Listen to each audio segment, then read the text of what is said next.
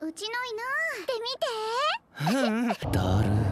番組に出てくれたら裏話してあげるよ。愛の男性関係の話とか。それは俺たちの父親を探すヒントになるはず。カメラマンが寄った時はその時してたやり取りを要約した会話をしていただけると助かります。こういう番組って台本ないんだね。どんな話していいか全然わからないわかる。私臆病でガシガシ前に行けないしきっと埋もれるんだろうな。恋愛とか今までしてこなかったから。嘘だ。やだな。嘘じゃないよ。君は恋愛に興味ないの？